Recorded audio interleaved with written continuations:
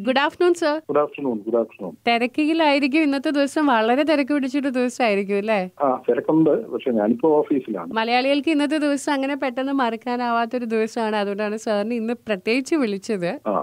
ലോകത്തിൽ എനിക്ക് തോന്നുന്നു എവിടെ നിന്നാണെങ്കിലും മലയാളികൾ ഈ ദിവസങ്ങളിലൊക്കെ സാറിന് വിളിക്കാൻ സാധ്യതയുണ്ടായിരിക്കും. ഇല്ല എന്തെങ്കിലും ഒരു ഓർമ്മകൾ പങ്കുവെച്ചുകൊണ്ട് മെസ്സേജ് ആയിട്ടോ? പലരും മെസ്സേജ് അയക്കുകയും വിളിക്കുകയും ഒക്കെ ചെയ്തിട്ടുണ്ട്. അതെ അതെ. എല്ലാ വർഷവും തുടർന്നു പോകുന്ന ഒരു കാര്യം തന്നെയായിരിക്കും അല്ലേ? ആ സാധാരണ മുമ്പ് ഈ കോവിഡിന് മുമ്പ് അച്ഛന്റെ അവാർഡ്സ് കൊടുത്തിരുന്ന ഈ ദിവസമായിരുന്നു. പക്ഷെ അതിനുശേഷം അവാർഡ്സ് അനൗൺസിങ് മാത്രമേ നടക്കുന്നുള്ളൂ. ബാക്കി അവാർഡ് ഡിസ്ട്രിബ്യൂഷൻ പിന്നീടാണ്. അവിടെ ഒരു ഫംഗ്ഷൻ ഉണ്ട്.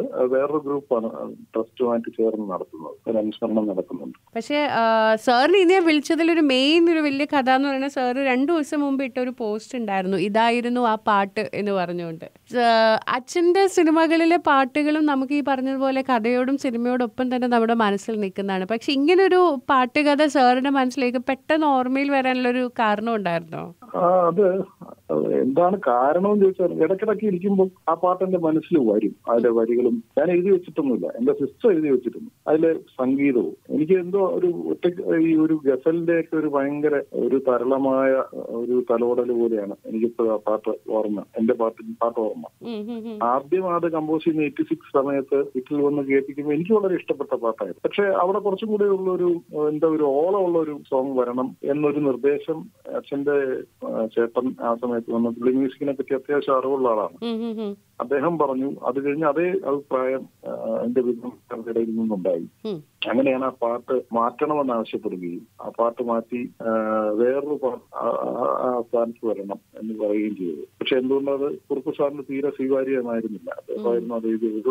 അത് അത്രയും ഭംഗിയായിട്ട് അദ്ദേഹം എഴുതിയതുകൊണ്ടായിരിക്കാം അതെ അതെ. പെരുമ്പാവൂർ ആദ്യമായിട്ട് ചെയ്യുന്ന പാട്ടായിരുന്നു. അതിന്റേതായ ഒരു പരിചയക്കുറവുള്ളത് കൊണ്ട് അച്ഛൻ പറഞ്ഞു ഒന്ന് നമുക്ക് വരികളുടെ കുഴപ്പം കൊണ്ടല്ല അതിന്റെ ട്യൂൺ ഒന്ന് മാറ്റി പിടിക്കണം സാർ എന്ന് പറഞ്ഞപ്പോൾ അദ്ദേഹത്തിന് അത് ഇഷ്ടമില്ല അദ്ദേഹം സാധ്യമല്ല എന്ന് പറഞ്ഞു അങ്ങനെയാണ് ആ പാട്ട് മാറുന്നത്. ആ പ്രൊജക്റ്റിൽ നിന്ന് മാറുകയും പിന്നീട് ആ ആ സ്ഥാനത്തേക്ക് ശ്രീകുമാരൻ തമ്പി അച്ഛൻ വിളിക്കുകയുമായിരുന്നു. അങ്ങനെയാണ് ആ ഒന്നാം രാഗം പാടി എന്നുള്ള ഇത് അതിനു വേണ്ടി ചെയ്ത ഒരു തീം മ്യൂസിക് തീം മ്യൂസിക് അല്ല സോങ് ആയിരുന്നു അത് റെക്കോർഡിംഗ് ഒന്നും ചെയ്തിട്ടില്ല. വെറും കാസറ്റ് അച്ഛന്റെ ഓഫീസ് ആയിട്ടന്ന് പ്രവർത്തി ഇപ്പോൾ ഇപ്പൊ കൊടുത്തിരിക്കുന്നു ഫ്ലാറ്റിൽ ജഗതി ഫ്ലാറ്റിൽ വെച്ചിട്ട് വേണിച്ച ജി വേണുഗോപാലാണ് പാടുന്നത്. പക്ഷെ ഈ ഇത്രയും വർഷങ്ങൾക്ക് മുമ്പ് വന്ന പാട്ട് ആയതുകൊണ്ടാകാം അതിന്റെ സംഗീതം ആർക്കും ഓർമ്മയില്ല. അതിന്റെ സൃഷ്ടാക്കൾക്ക് പോലും അത് പിന്നെ വിസ്മൃതമായിരിക്കുന്നു എന്ന് എനിക്ക് പിന്നീട് മനസ്സിലായി. കാരണം മനോജ് എം എന്ന് പറയുന്ന ഗാന ആ, ചരിത്രകാരൻ ഈ പാട്ട് ആ, അന്വേഷിച്ചു പോയിട്ടുണ്ട്. മുമ്പ് ഒരിക്കൽ നയന്റീസിന്റെ തുടക്കത്തിൽ വേണിച്ചേട്ടൻ തന്നെ ഒരിക്കലും ദൂരദർശനിൽ പാടിയിരുന്നു. പക്ഷെ ആ അതിന്റെ ടേപ്പ് അവിടെ അവൈലബിൾ അല്ല. അതും നഷ്ടപ്പെട്ടു പോയി അദ്ദേഹം ആദ്യം ദൂരദർശനിൽ പോയി നോക്കി. അത് കിട്ടിയില്ല. അത് കഴിഞ്ഞ് വേണിച്ചെന്നവർ ചോദിച്ചപ്പോൾ വേണിച്ചേട്ടൻ ആ പറയും രണ്ടുപേരുടെ മ്യൂസിക്കേ ഓർമ്മ പെരുമ്പാവൂർ സാറിനെ കണ്ടത് ചോദിച്ചപ്പോൾ അദ്ദേഹം അത് പൂർണമായും മറന്നുപോയി സംഗീതം. സംഗീതം ഉം. അദ്ദേഹം ഒന്ന് കുറുപ്പ് സാറ് ജീവിച്ചിരിപ്പുണ്ടായിരുന്നു. കുറുപ്പ് സാറിന് അതിന്റെ വരികൾ അറിയാം. പക്ഷെ മ്യൂസിക് പറഞ്ഞു കൊടുക്കാൻ അദ്ദേഹത്തിന് ഓർമ്മയില്ല. അപ്പൊ ശരിക്കും പറഞ്ഞു കഴിഞ്ഞാൽ ഇത് പൂർണമായും വിസ്മൃതിയിലാണ്ട് പോകുമായിരുന്നു. എന്റെ ഈ മൂളൽ ഇത് വെച്ചിട്ടാണ് ഞാൻ ഓർത്തെടുത്തത്. അപ്പൊ എനിക്കെന്തോ ഒരു ദിവസം പെട്ടെന്ന് ആ പാട്ട് ഏഹ്, വേണുചേട്ടൻ അതിന്റെ വരികൾ അയച്ചു കൊടുത്തിട്ട് വേണുചേട്ടന്റെ അടുത്ത് ഇത് പാടാൻ പറഞ്ഞു. പുള്ളി പറഞ്ഞു എനിക്ക് അതിന്റെ ആദ്യത്തെ ഒരു പല്ലവിയുടെ വരികൾക്ക് മാത്രമേ ഓർമ്മയുള്ളൂ എന്ന് പറഞ്ഞു. അപ്പൊ എന്താ നമ്മളൊരു അമേച്ചർ സിംഗർ അമേച്ചർ എന്ന് പോലും പറയാൻ പറ്റില്ല. ഒരു ബാത്റൂം സിംഗർ എന്നൊക്കെ പറയാവുന്ന എന്റെ ഒരു ശോചനീയ അവസ്ഥയിലുള്ള ഒരു ഒരു ആലാപനം അങ്ങോട്ട് അയച്ചു കൊടുത്തു വോയിസ് മെസ്സേജ്. അപ്പൊ അദ്ദേഹത്തിന് ഓർമ്മ വരികയും അദ്ദേഹം തിരിച്ച് വളരെ ഭംഗിയായിട്ട് അത് പാടി തരികയും. എനിക്കതൊരു വീണ്ടെടുക്കൽ തന്നെയായിരുന്നു എനിക്കത് പോകുമായിരുന്നു തീർച്ചയായും. ആ പാട്ട് അതൊന്ന് അതിനുശേഷം മനോജ് എന്ന് പറയുന്ന അദ്ദേഹം എന്നെ വിളിച്ച് ഒരുപാട് നന്ദി പറഞ്ഞു. കാരണം അദ്ദേഹം ഈ പാട്ട് തിരക്കി കുറെ അലഞ്ഞതാ. ഈ പാട്ടായിരുന്നു ആദ്യം ഒന്നാം രാഗം പാടിക്ക് വേണ്ടി ഉദ്ദേശിച്ചത്. ഇനി നിൻ മനസ്സിന്റെ കൂട് തുറന്നതിൽ ഒരു മിന്നാമിന്നിയെ കൊണ്ടുവയ്ക്കാം. ഇറ്റുവെളിച്ചത്തിൻ തുള്ളികളാലതിൽ ഇത്തിരി പൂക്കൾ ചൊരിയാം ഇത്തിരി പൂക്കൾ ചൊരിയാം ഇനി മറ്റൊരു പാട്ടുണ്ട്. മേഘം പൂത്തു തുടങ്ങിക്ക് വേണ്ടി കമ്പോസ് ചെയ്യുക അതിന്റെയും വരികൾ കിട്ടിയാൽ ഞാൻ പിടിച്ചത് പക്ഷെ വരികൾ എവിടെയെങ്കിലും ഇനി തപ്പിയെടുക്കണം. ഈ അടുത്ത കാലം വരെ എനിക്ക് അത് എന്റെ മനസ്സിൽ വന്നിരുന്നു. എനിക്ക് കൂടുതൽ ഇഷ്ടം ഇതായത് കൊണ്ടായിരിക്കാം മറ്റൊരു കുറച്ചുകൂടെ ചടുലമായ കുറച്ചുകൂടെ സെൻഷ്യസ് ആയിട്ടുള്ള ഒരു സോങ്. മേഘം പൂത്തു തുടങ്ങി. അത് ക്ലാര ജയകൃഷ്ണൻ. അതും മേഘം പൂത്തു തുടങ്ങിയും തമ്മിൽ ഒരു ബന്ധമില്ല അത്. കുറെ കൂടി റൊമാന്റിക് ആയിട്ടുള്ള ഒരു സോങ് ആണ്. അതുപോലെ ചടുലമല്ല. മേഘം പൂത്തു തുടങ്ങിയ പോലെയുള്ള വളരെ ഫാസ്റ്റ് മൂവിങ് ആയിട്ടുള്ള ഒരു സോങ് അല്ല. പക്ഷെ അതും നല്ല പാട്ടായിരുന്നു. ഒരു പക്ഷേ ഇതിന് കണ്ടെത്താൻ പറ്റുമായിരിക്കും. അതിന് എനിക്ക് കിട്ടിയാൽ ഞാൻ തപ്പിയെടുക്കും. മനസ്സിൽ അതിന്റെ സംഗീതം കിടപ്പുണ്ട് അതായിരുന്നു ആ പാട്ടിന്റെ പിന്നിലുള്ള ചരിത്രം. ചിലപ്പോ ഭാവിയിലുള്ള ഒരു സിനിമയിൽ ഉപയോഗിച്ചു കൂടായികയില്ല. അങ്ങനെ ചിലർ എന്നെ വിളിച്ച് ചോദിച്ചിരുന്നു. അതിപ്പോ പറയാൻ വെളിപ്പെടുത്താൻ പറ്റാത്തതുകൊണ്ട് കൊണ്ട് പിന്നെ അത് ഞാൻ പറയുന്നില്ല. അതിൽ വളരെ തൽപരരായ സിനിമയിൽ വളരെ സജീവമായി നിൽക്കുന്ന ഒന്ന് രണ്ടുപേര് എന്നെ വിളിച്ചിരുന്നു. ഞാനത് ചോദിക്കാൻ നിൽക്കുകയായിരുന്നു. പക്ഷെ ഈ റെക്കോർഡിംഗ് സമയങ്ങളൊക്കെ സാറിന്റെ ഒരു ഏജ് എത്ര ഉണ്ടാവും സാറ് കൂടെ തന്നെ ആ ടൈമിൽ ഉണ്ടായിരുന്നു തോന്നല്ലേ ഞാൻ പതിനഞ്ച് വയസ്സ്. ഞാൻ പതിനഞ്ച് വയസ്സ്. ആ സമയത്ത് പത്താം ക്ലാസ്സിൽ പഠിക്കുക. അന്നാണ് ഇത് നടക്കുന്നത്. ഷൂട്ടിംഗ് തുടങ്ങുമ്പോഴത്തേക്കും പത്താം ക്ലാസ്സിൽ ഞാൻ കഴിഞ്ഞു. അതായത് വെക്കേഷൻ സമയത്താണ് ഷൂട്ടിംഗ് തുടങ്ങുന്നത്. എനിക്ക് മുപ്പത്തേഴ് വർഷം മുമ്പാണ് എയ്റ്റി സിക്സ് ഒക്ടോബർ നവംബറിലായിരിക്കണം അതിന്റെ സ്ക്രീൻ പ്ലേ പരിപാടി നടക്കുന്നത് സാറിന്റെ അടുത്ത് ആരെങ്കിലും ഇപ്പൊ സിനിമയിൽ തന്നെ സാറിന്റെ സുഹൃത്തുക്കളാണെങ്കിൽ ആരെങ്കിലും അച്ഛനെ പറ്റിയിട്ടൊരു സിനിമ എന്ന രീതിയിൽ കാരണം സോഷ്യൽ മീഡിയയിൽ ആരാധകർ എപ്പോഴും പോസ്റ്റ് ഇടാറുണ്ട്. പക്ഷെ സാറിന്റെ അടുത്ത് പേഴ്സണലി വന്ന ആരെങ്കിലും അങ്ങനെയൊക്കെ ചോദിച്ചിട്ടുണ്ടോ? അങ്ങനെ ഒരു അച്ഛന്റെ കഥ സിനിമയാക്കട്ടെ എന്ന് ചോദിച്ചുകൊണ്ട്. ധാരാളം പേരുണ്ട് അച്ഛന്റെ പല ഒന്ന് രണ്ട് കഥകൾ ഇപ്പോഴും വളരെ സ്ട്രോങ് കൺസിഡറേഷനിലാണ് കൺസിഡറേഷൻ ഇല്ല ഒരു നേട്ടം വെച്ചിട്ടുണ്ട്. ആളുകളുടെ പേര് പറയാൻ വയ്യ ഉം. സിനിമയിലെ ഏറ്റവും പ്രിയപ്പെട്ട സംവിധായകർ തന്നെയാണ് യുവ സംവിധായകർ തന്നെയാണ് ചോദിച്ചിട്ടുള്ളത് ആ സിനിമ ഉം. ആ സിനിമയാകുമ്പോൾ അത് നമുക്ക് പറയാം ആ സമയത്ത് പറയാൻ പറ്റൂ തീർച്ചയായും. പക്ഷേ സാറിന് അതിൽ ഏറ്റവും കൂടുതൽ ഹൈലൈറ്റ് ചെയ്ത് നിൽക്കണമെന്ന് ആഗ്രഹമുള്ള ചില കാര്യങ്ങൾ എന്തായിരിക്കും? അച്ഛനെ പറ്റി ഒരാൾ പറയുമ്പോൾ സാധാരണ അച്ഛനെ പറ്റി പറയുമ്പോൾ എല്ലാവരും അച്ഛന്റെ സിനിമകളും നോവലിലെയും പ്രണയത്തെയാണ് ഏറ്റവും കൂടുതൽ പറയുന്നത്. പക്ഷേ എങ്കിൽ പോലും സാറിന്റെ താല്പര്യം എപ്പോഴും എന്ത് ഹൈലൈറ്റ് ചെയ്ത് കാണണമെന്നാണ്? ആര് പറയുമ്പോഴാണെങ്കിലും എഴുതുമ്പോഴാണെങ്കിലും ഒരു സിനിമയാകുമ്പോഴാണെങ്കിലും. അല്ല അച്ഛനെ അങ്ങനെ ഒരു ഡിഫറൻഷിയേറ്റ് ചെയ്യാൻ പറ്റില്ല. അച്ഛന്റെ ഒരു റൈറ്റിംഗ് സെനേറിയോ എന്ന് പറയുന്നത് ഒരു കടൽ പോലെയാണ്. അതിന്റെ എല്ലാം ഉണ്ട്. ഉണ്ട് വയലൻസിന്റെ ഉണ്ട് രതിയുടെ ഉണ്ട്. വളരെ പിന്നെ മസൃണമായ ഭാവങ്ങളുള്ള വാത്സല്യത്തിന്റെ ഉണ്ട്. ഇതെല്ലാം ഒരു ആൾ ഇൻക്ലൂസീവ് അതാണ് ഒരു കടൽ പോലെ. ഒരു പ്രത്യേക ഒരു പുഴ പോലെയല്ല. ഒരു പ്രത്യേക ഭാവത്തിൽ മാത്രം പോകുന്ന കഥാപാത്രങ്ങളല്ല കഥാഗതികളുമല്ല. അതുകൊണ്ട് തന്നെ നമുക്ക് അങ്ങനെ ഒരുമിച്ച് പറയാൻ പറ്റില്ല. ഒരു ആൾ എൻകംപാസിംഗ് ആയിട്ടുള്ള ഒരു നറേറ്റീവ് സെനേറിയോ ആണ്.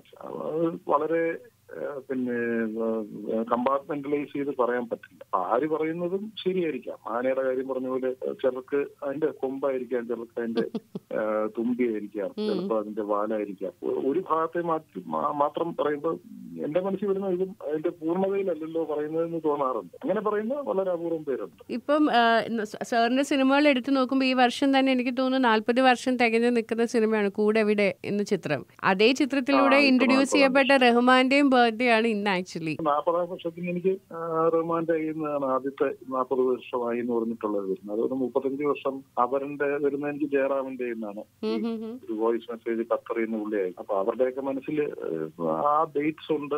ശരിക്കും പറഞ്ഞാൽ അപ്പോഴാണ് ഞാൻ ഓർക്കുന്നത്. ഇത്ര വർഷമായത് സാർ അച്ഛന്റെ സംസാരങ്ങളിൽ സാർ ശ്രദ്ധിച്ച് അല്ലെങ്കിൽ ഈ പറഞ്ഞ പോലെ ഈ താരങ്ങളെ പിന്നാലെ ഒന്നും പോകാറില്ല അച്ഛൻ എന്ന് തോന്നിയിട്ടുണ്ട്. അച്ഛൻ പുതിയ ആരെങ്കിലും കണ്ടെത്തുകയും സ്റ്റാറുകളുടെ പിന്നാലെ ഒന്നും പോയിട്ടില്ല. അങ്ങനത്തെ ചില കോൺവെർസേഷൻസ് സാറിന് വന്നിട്ടുണ്ടോ? ലൈക്ക് എന്തായിരുന്നു അച്ഛൻ കൂടുതൽ ഫോക്കസ് ചെയ്തിരുന്നത്? സിനിമ ചെയ്യുമ്പോൾ ഈ സത്യം പറഞ്ഞാൽ ഇവരൊന്നും അങ്ങനെ താരങ്ങളായിട്ടുമില്ല. എൺപത്തിമൂന്നിൽ മമ്മൂട്ടി സാർ ചെയ്യുമ്പോൾ അദ്ദേഹം അപ്കമിങ് ആണ്. അതുപോലെ എൺപത്തി അഞ്ചിൽ കരിമ്പിമ്പൂനക്കരെ ചെയ്യുമ്പോഴത്തേക്കും അന്ന് രാജാവിന്റെ മകൻ ഇറങ്ങിയിട്ടില്ല ലാലേട്ടൻ ഇങ്ങനെ കയറി വരുന്ന ഒരു സ്റ്റേജാണ്. സൂപ്പർ സ്റ്റാർ പദവിയിലേക്ക് എത്തിയിട്ടില്ല. അവരൊക്കെ വളരെ പ്രോമിസിംഗ് ആയിട്ടുള്ള ന്യൂ ഹീറോസ് ആണ്. പക്ഷെ അച്ഛൻ ഈ പറഞ്ഞ മാതിരി തുടങ്ങുന്നത് തന്നെ തിരുവനന്തപുരം പോലൊരു പടത്തിലാണ്. സംവിധാനം. അന്ന് വേണമെങ്കിൽ അന്ന് ഏറ്റവും ബിസിയസ്റ്റ് സ്ക്രീൻ പ്ലേ റൈറ്റർ ആയിരിക്കുന്ന സമയമാണ്. എത്രയോ ഹിറ്റുകൾക്ക് ശേഷം. വേണമെങ്കിൽ അച്ഛൻ അന്ന് കത്തി നിൽക്കുന്ന സോമന്റെയോ സുമാറിന്റെയോ അല്ലെങ്കിൽ അക്കാലത്തുള്ള ആരുടെ വേണമെങ്കിലും ഡേറ്റ്സ് കിട്ടുമായിരുന്നു. സംവിധാനം തുടങ്ങും. പക്ഷെ അച്ഛൻ ആരും അറിയാത്ത അതുവരെ സിനിമയിലോ നാടകത്തിലോ മുഖം കാണിക്കാത്ത ഒരു അഭിനയ പരിചയമില്ലാത്ത ഒരു അശോകൻ എന്ന് പറയുന്ന ഒരാളെയാണ് കാസ്റ്റ് ചെയ്യുന്നത്. രണ്ടാമത്തെ പടത്തിൽ റഷീദ് എന്ന് പറയുന്ന ഒരു ബന്ധമില്ല അഭിനയമായിട്ട് ഒരു ബന്ധമില്ലാത്ത ഒരു ഫയൽവാനായിട്ടുള്ള ഒരു മനുഷ്യനെ തന്നെയാണ്. K S R T C work ചെയ്യുന്ന ഒരാളാണ്. കാസ്റ്റ് ചെയ്യുന്നത് നാലാമത്തെ പടമായ നവംബർ നഷ്ടത്തിൽ അതുപോലെ ഒരു പുതിയ ബാങ്ക് ഉദ്യോഗസ്ഥനായ രാമേന്ദ്രൻ. അഞ്ചാമത്തെ പടത്തിലാണ് റഹ്മാന കാസ്റ്റ് അയാളും ഒരിക്കലും ഒരു ആർട്ട് ഫോംസിലൊന്നും പരിചയിച്ചിട്ടുള്ള ആളല്ല. അപ്പൊ അങ്ങനെ ഒരു പുതുമയോടുള്ള ഒരു ഒരു അടുപ്പം അച്ഛൻ ഉണ്ടായിരുന്നു. പിന്നെ ഇവരെയൊന്നും ഈ കഥാപാത്രങ്ങൾക്ക് അനുയോജ്യമായ ആളുകൾ എന്നുള്ള രീതിയിലാണ് ഇവരെയൊക്കെ കാസ്റ്റ് ചെയ്യുന്നത്. വളരെ അപൂർവമായിട്ട് മാത്രമേ ഉള്ളൂ. ചിലപ്പോൾ അവരുടെ സ്റ്റാർഡ് എക്സ്പ്ലോർ ചെയ്യാൻ വേണ്ടി സിനിമ എടുക്കേണ്ടി വന്നിട്ടുള്ളൂ. സീസൺ പോലുള്ള ഇതിൽ നായകനെ മുന്നിൽ കണ്ടുകൊണ്ട് തന്നെയാണ് ഇതിന്റെ പക്ഷെ അച്ഛൻ അതിനെക്കാട്ടും എൻജോയ് ചെയ്തിരുന്ന മറ്റേതായിരുന്നു അവർ ചെയ്യുന്ന സമയത്ത് പുതിയ മുഖം തന്നെ വേണം എന്ന് ഉറപ്പായിരുന്നു. വേണമെങ്കിൽ അച്ഛൻ തന്നെ റഹ്മാൻ വേണമെങ്കിൽ ഇടാലോ. റഹ്മാനൊന്ന് അത്യാവശ്യം ഉള്ള ആൾ ആൾ തന്നെയാണ്. ആ, ക്യാരക്ടർ ജയറാമിന് വേറെ റഹ്മാൻ ഇടാമല്ലോ. അതെ. ചെയ്തില്ല. അതൊരു പുതിയ ആളെ തന്നെ ഇടണം എന്നുള്ളതുകൊണ്ടാണ് അതിലൊരു റിസ്കിന്റെ എലിമെന്റും ഉണ്ട്. പുതുമയോടുള്ള ഒരു ഇതാണ്. അതിനോടുള്ള ഒരു ആഭിമുഖ്യം തന്നെയായിരുന്നു. അത്തരം കാസ്റ്റിങ്ങുകളിൽ അച്ഛൻ പുലർത്തിയിരുന്നത്. നിതീഷ് ഭരദ്വാജിനെ കാസ്റ്റ് ചെയ്യുന്നതും ഒക്കെ അങ്ങനെ തന്നെയാണ്. ഡിസ്നി ഹോട്ട്സ്റ്റാറിൽ വരാൻ പോകുന്ന കേരള ക്രൈംസും സാറിന്റെ ഒരു പുതിയ വർക്ക് തന്നെയാണ് തോന്നുന്നു അല്ലേ? ആ ഞാൻ ഡിസ്നി ഹോട്ട്സ്റ്റാറിന്റെ കണ്ടന്റ് ഹെഡാണ് അപ്പൊ അങ്ങനെ അതിപ്പോ ഒരുപാടെണ്ണം വരുന്നുണ്ട്. ഇത് മാത്രമല്ല. നാലെണ്ണം ഓൺ ഗോയിങ് ആണ് സീരീസുകളാണ് നാലാമത്തെ ഇപ്പം റഹ്മാനാണ് ഹീറോ ലീല ഗുപ്ത റഹ്മാനാണ്. അതിന്റെ ഷൂട്ട് ഇപ്പൊ നടന്നു തൗസൻഡ് വൺ ബേബീസ് മൂന്നെണ്ണം അല്ലേ? കഴിഞ്ഞു. എല്ലാം തൗസൻഡ് ബേബീസ് അതുപോലെ മൂന്നെണ്ണം കഴിഞ്ഞു. രണ്ടാമത്തേത് നിഖില വിമലും സണ്ണി വീനുമാണ് ഒരുപാട് പേര് അതിന്റെ പെർഫോമൻസ് ചെയ്തു ഈ ഫോർ എന്റർടൈൻമെന്റ് മൂന്നാമത്തത് വരുന്നത് നിത്യ മേനോൻ ഷറഫുദ്ദീൻ പിന്നെ ഒരുപാട് പേരുണ്ട്. രഞ്ജി പണിക്കർ അശോകൻ കുറെ പേരുണ്ട്.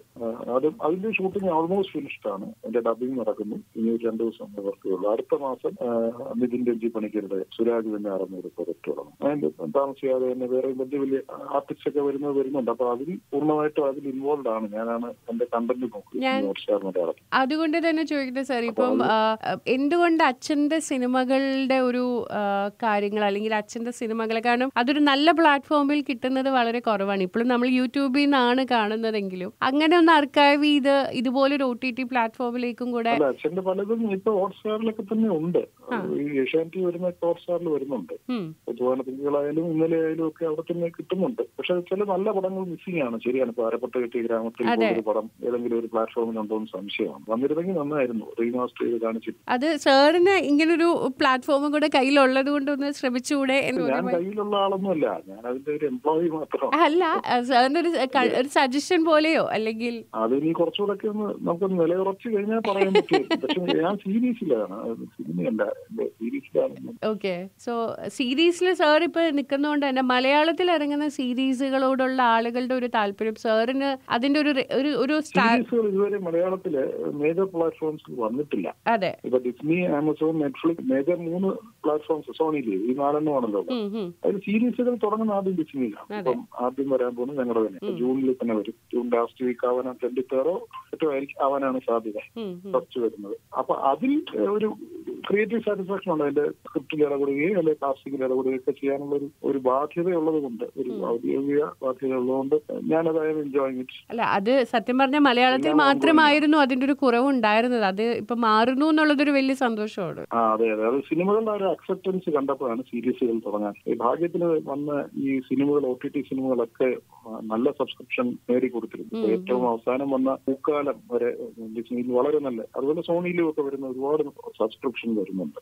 പ്രൈമിലും ഒക്കെ. അപ്പൊ അതിന്റെ പോസിബിലിറ്റി അത്രയാണ് ആളുകൾക്ക് മനസ്സിലായത്. കാരണം ലോകമെമ്പാടുമുള്ള മലയാളികൾക്ക് കാണാൻ പറ്റുന്നുണ്ടല്ലോ. എനിക്ക് ഒരു സംശയമേ ഉള്ളൂ. യു എയിൽ ഇത് കിട്ടുന്നുണ്ടോ എന്നൊരു സംശയമുണ്ട്. ഹോട്ട്സ്റ്റാർ സാർ ഇവിടെ കിട്ടി ഇവിടെ കഴിഞ്ഞ ഒരു ഒരു ഒരാഴ്ചക്കുള്ളിൽ കിട്ടി തുടങ്ങിയിട്ടുണ്ട്. പക്ഷെ ഇന്ത്യൻ കണ്ടന്റുകൾ കിട്ടുന്നില്ല. അത് കിട്ടാനുള്ള നീക്കങ്ങൾ നടക്കുന്നുണ്ടെന്നാണ് ഞാൻ അറിഞ്ഞത്.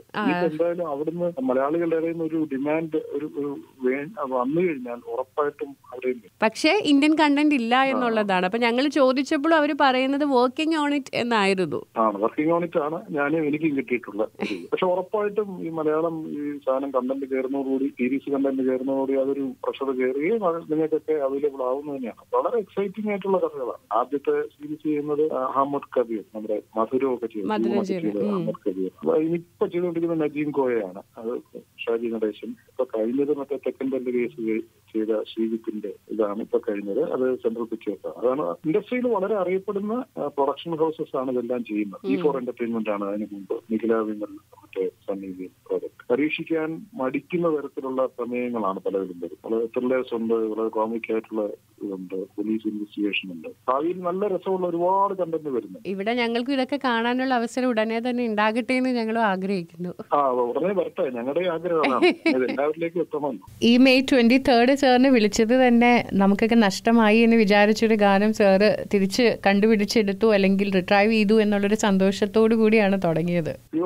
ഷിയർ പിന്നെ എന്താണ്? ഷിയർ ചാൻസ് ആണ് എന്തോ ഒരു ഭാഗ്യത്തിന് വന്നതാണ് ഇനി സാറിന് ഒരു ടാസ്കും കൂടെ ഉള്ളത് ഒരു പാട്ടും കൂടെ കണ്ടുപിടിക്കാനുണ്ട്. അത് സാറിന്റെ ഉള്ളിലേക്ക് വേഗം അത് കണ്ടുപിടിക്കാൻ പറ്റും. എനിക്ക് ആ വരി കിട്ടിയാൽ എനിക്ക് എന്റെ മനസ്സിന്റെ ഉള്ളിൽ എവിടെയോ കിടപ്പുണ്ട്. എന്റെ സബ് കോൺഷ്യസ് മൈൻഡിൽ കിടപ്പുണ്ട് അത്. ഇടയ്ക്കൊക്കെ അത് ഓർമ്മ വരാറുമുണ്ട് ഇനിയിപ്പോ ഓർമ്മ വന്ന സമയത്ത് ഉടൻ റെക്കോർഡ് ചെയ്ത് വയ്ക്കാന്നുള്ളതാണ് അടുത്ത പരിപാടി. അതെ അതെ അതെ. തീർച്ചയായും. അത് ചെയ്ത് അതറിയാൻ ഞങ്ങളും കാത്തിരിക്കുന്നുണ്ട്. ഉടനെ ആ പാട്ടുകൾ സാറ് നേരത്തെ പറഞ്ഞ പോലെ ഒരു സിനിമയിൽ കുറുപ്പ് സാറിന്റെ വീട്ടിൽ പോയി അതിന്റെ വരികൾ കിട്ടുമെന്ന് ഒന്ന് നോക്കണം. കിട്ടും. അപ്പൊ അത് ഉടനെ തന്നെ സംഭവിക്കട്ടെ സാർ ഒത്തിരി സന്തോഷം. ഒരുപാട് കഥകളും വിശേഷങ്ങളും സാറിന്റെ കഥകളും ഒക്കെ ഞങ്ങൾക്ക് അറിയാൻ കഴിഞ്ഞിട്ടുണ്ട് താങ്ക് യു സോ മച്ച് തിരിപ്പൂക്കൾ പൂക്കൾ ചൊരിയാം.